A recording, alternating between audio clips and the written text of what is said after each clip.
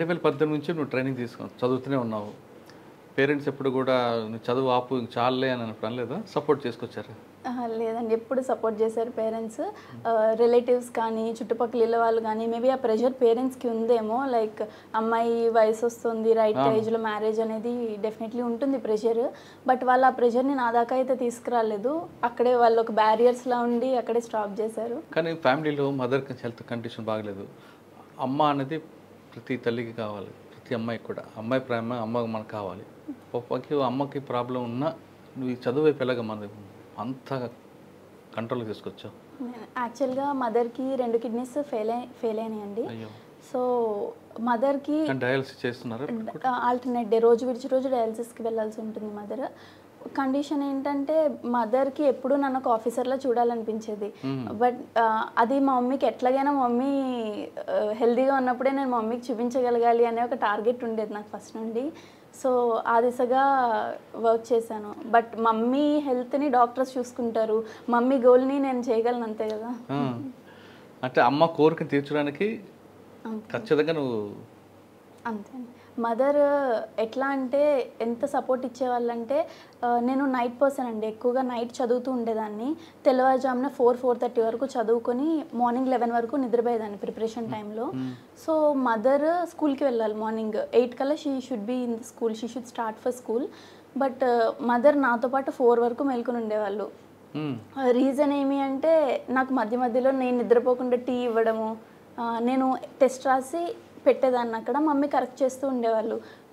చూడు toppers copy ఇట్లా ఉంది నీది ఇట్లా ఉంది అని కరెక్ట్ చేసేవాళ్ళు. She use to wake till four AM and two hours sleep తీసుకుని మళ్ళీ ఎయిట్కి స్కూల్కి వెళ్ళిపోయేవాళ్ళు మదర్ అంత ఎఫర్ట్ పెట్టారు నా ప్రిపరేషన్ టైంలో మదర్ ఫస్ట్ టైం నువ్వు సివిల్స్ రాసినప్పుడు నువ్వు మెయిన్స్ వరకు వెళ్ళి ఫెయిల్ అయ్యావు కదా అప్పుడు ఏమనిపించింది?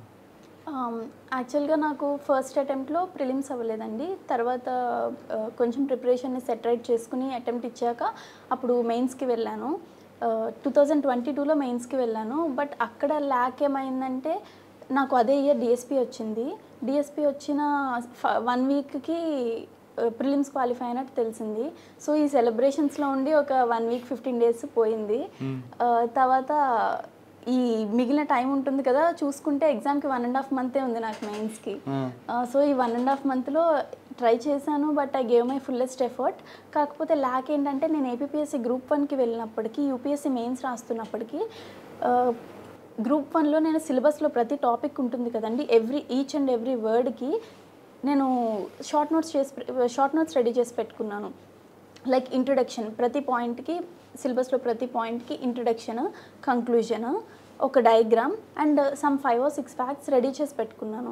విచ్ హెల్ప్ మీ అంటే ఇప్పుడు గ్రూప్ వన్ పేపర్లో క్వశ్చన్ పేపర్లో మెయిన్స్ ఎట్లా ఉంటుందంటే డైరెక్ట్గా సిలబస్లోని పాయింట్నే రెప్లికేట్ చేసి క్వశ్చన్ అడుగుతారు. సపోజ్ గ్లోబలైజేషన్ గురించి క్వశ్చన్ అడిగారు. నేను ఆల్రెడీ రెడీగా పెట్టుకున్న నోట్స్లో నాకు ఇంట్రొడక్షన్ కంక్లూజన్ బాడీ డయాగ్రామ్ అన్నీ రెడీగా ఉంటాయి. నేను జస్ట్ నా డేటాని అందులో డంప్ చేయడము ఇంకా నాకేమైనా ఇన్నోవేటివ్గా ఎగ్జామ్ టైంలో థాట్ వస్తే రాయడము. డెఫినెట్లీ అప్పటికప్పుడు ఆలోచించి రాసిన వాళ్ళకంటే మోర్ బ్యూటిఫైడ్ ఆన్సర్ వస్తుంది. ఇట్లా నేను స్ట్రాటజిక్గా ప్రిపేర్ అయ్యి వెళ్ళాను గ్రూప్ వన్ మెయిన్స్కి యూపీఎస్సీ మెయిన్స్కి సిలబస్ వ్యాస్ట్ నాకు ఉన్నదేమో వన్ అండ్ హాఫ్ మంతే టైం ఇంకా ఆప్షనల్ సబ్జెక్ట్ అయితే సరిగ్గా ప్రిపేర్ కూడా కాలేదు. ప్రీ ఎగ్జామ్ ప్రిపరేషన్ లేకుండా వెళ్ళడం వల్ల అది కొంచెంలో మిస్ అయిందండి. ఇప్పుడు నెక్స్ట్ మళ్ళీ కొడతావా? అంటే ప్రస్తుతం ఉన్న జాబ్కి ఫుల్ రెస్పెక్ట్ అండ్ అటెన్షన్ ఇచ్చాక మిగిలిన టైంలో యూపీఎస్సీ ప్రిపేర్ అవుతాను. ఓకే గ్రూప్ వన్ సెలెక్ట్ అయ్యావు. చేయగానే అమ్మాయి ఉన్నారు అమ్మా నాన్న?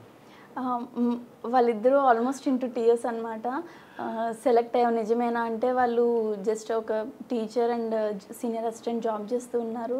వాళ్ళ గ్రూప్ వన్ అనేది చాలా పెద్ద సర్వీస్ లాగా ట్రీట్ చేస్తారు. నిజంగానే వచ్చిందా మన ఫ్యామిలీలో గ్రూప్ వన్ వచ్చిందా అనేసి they were into tears that day select అయ్యావు మనం. అయిన తర్వాత పో ట్రైనింగ్. ట్రైనింగ్ వెళ్ళాక ఫస్ట్ థియరీ వరకు బాగానే ఉంటుంది. ప్రాక్టికల్ ట్రైనింగ్ అంతా కొంచెం కష్టం ఉంటుంది. ఫైరింగ్ కానీ రన్నింగ్ మిగతా అన్ని విషయాలు. ఇప్పుడు అనిపించిందా? ఎందుకు వచ్చాను ఈ డిపార్ట్మెంట్లో కానీ? డెఫినెట్లీ అండి. నాకే కాదు ప్రతి ఒక్కరికి అనిపిస్తుంది. ఎందుకంటే గ్రూప్ వన్లో మిగిలిన సర్వీసెస్లో సెలెక్ట్ అయిన వాళ్ళందరూ ఫీల్డ్లోకి వచ్చేసారు. నార్మల్గా వాళ్ళ రొటీన్ మామూలుగానే ఉంటుంది. మనకే ఎందుకు పొద్దున ఫోర్ థర్టీకి లేయాలి? మనమే ఎందుకు పరిగెట్టాలి? మనకే ఎందుకు ఈ రొటీన్ అంతా అని చెప్పి అనిపిస్తుంది. బట్ ఒక one week or one month ఇంచుమించు ఒక ఫిఫ్టీన్ డేస్ ట్రైనింగ్ తర్వాత వాట్ వీ ఫెల్ట్ ఈజ్ ఆ రొటీన్కి అడ్జస్ట్ అవ్వడమే కాకుండా అది మాకు ఉన్న కాన్ఫిడెన్స్ టీమ్ వర్క్ అంటే ఇప్పుడు డ్రిల్ ఇవన్నీ చేసినప్పుడు ఒక టీమ్గా చేస్తామండి. We are batch of twenty five members మేమంతా ఒక డ్రిల్ ఒక టీమ్గా చేస్తాము. ఎవరిదన్నా ఒక మిస్టేక్ ఒక్కరిది పోయినా కూడా we should read the whole thing దానివల్ల టీం వర్క్ బిల్డ్ అయింది.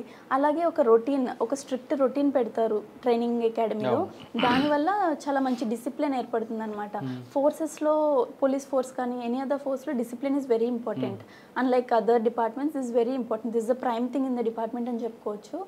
సో అది అక్కడ ఇంకల్కేట్ చేశారు మాకు.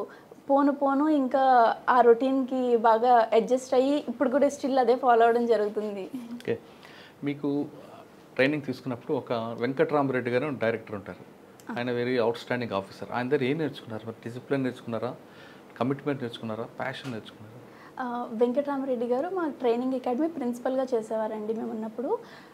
సార్ దగ్గర నుంచి ఫస్ట్ మనం తీసుకోవాల్సింది డిపార్ట్మెంట్లో చాలా రకాల ప్రెషర్స్ స్ట్రెస్లు ఇవన్నీ ఉంటాయి. సార్ ఎలాంటి ప్రెషర్ ఉన్నా ఎట్లా ఉన్నా కూల్గా ఉంటారు. ఇట్లాంటి జరిగి ఎంత టఫెస్ట్ సిచ్యువేషన్ జరిగినా కూడా ఓకే నెక్స్ట్ ఏం చేయాలి? నెక్స్ట్ మెజర్ ఏం తీసుకోవాలి? అయ్యింది అయిపోయింది. వాళ్ళకేం చేస్తున్నామో నెక్స్ట్ ఏం తీసుకోవాలి? ఇట్లాంటి చాలా ప్రొయాక్టివ్ స్టెప్స్ తీసుకుంటూ వెళ్ళేవాళ్ళు.